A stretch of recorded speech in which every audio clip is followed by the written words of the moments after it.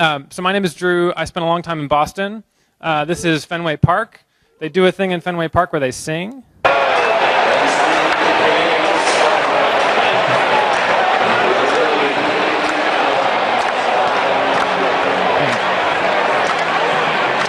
start dancing. I need to advance a little bit.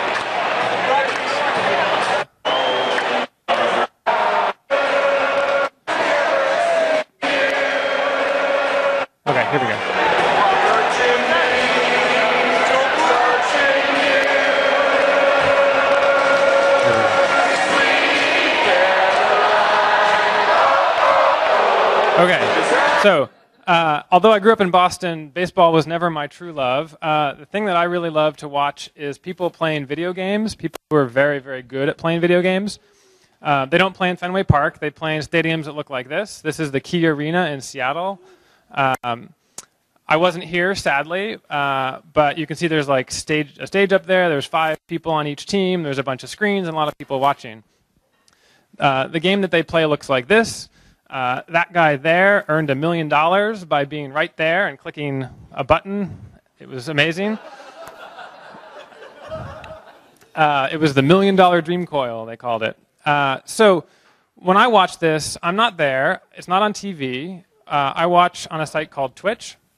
And the thing that's weird about Twitch is that when you're watching, there's a chat room. So it's not that um, there's not a chat room in the way you're used to a chat room. There's not conversations going on here because there are tens to hundreds to many hundreds of thousands of people watching at the same time. So this is just a screenshot I took uh, today, I think, and there's 20,000 people watching this right now. That's relatively low for these kinds of events. And when you get this many people together, they do all kinds of weird things. So they love to sing, so you can't hear it, but they're playing Let Go on the audio track. And everybody just like spams the chat room, and they love these little graphical guys. Uh, that's the theme. And you see some people like trying other things, like they're trying to say "Let It Go, Bulba." That's the name of a player that they like. So there's this kind of like iteration that happens. People will shout things into the chat room. Some things take off, and you'll just see it scrolling like crazy. I have some screenshots of that later. But it's just like unbelievable, massive amounts of text, and it's often the same text or some like slight variant of the text. Uh, they also love to sing along with the song. This is a very simple song. I don't know if you know Sandstorm. There's this guy named Darude. It's like a late 90s techno kind of hit. Like, no one really loves this song, but chat loves this song. Uh, and that's the refrain is do do do do do. And if you just watch, just like it flies by. Uh, it's it's a little weird. Um, chat also likes to dance. Uh, so people like copy and paste these weird like dancing emoticons in chat when music is playing. Uh, there's also you'll see other people trying to chat in the middle and like there's little crying faces. They're like complaining that this is what's happening in their chat room. Um, there's also these like graphical emoticons that people really like. Uh, these are Twitch specific, but basically people on the screen have a cutout of this little image that happens in chat, and when it's on screen, then everybody just spams the chat room. They're like, I love that the image that I can make in the chat room is something that I can see on the video.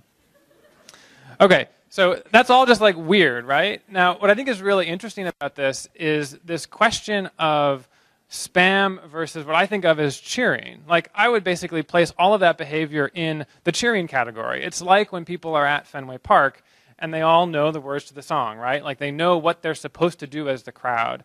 And that's collective action, right? It's like people getting together and doing a thing at the same time. They all know what they're supposed to do. That feels great, right? Like, that's like a really primal human thing to do. But what's interesting is that in chat rooms, there's only one channel. Like, no one in a stadium is like, like, why are you singing along to this song? Like, I want to talk to my friend, and you're singing Sweet Caroline. Like, you're an asshole.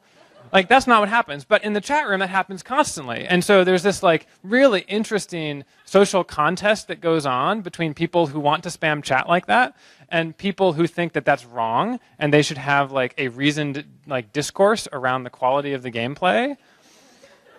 And obviously the spammers win, but it's interesting to see how people construct like what it means to be in a chat room, right? Because we've been in chat rooms that have 100 people in them and we have nice conversations or 10 people or whatever. Like chat is as old as like computing technology. It's like the first thing people made when you had two people on a computer was I want to talk to the other person. But something crazy happens when you put 100,000 people in a room and you lose that ability, but you gain this other ability, which is we can all do the same thing at the same time and we feel connected. Uh, I think that's awesome. So that's it.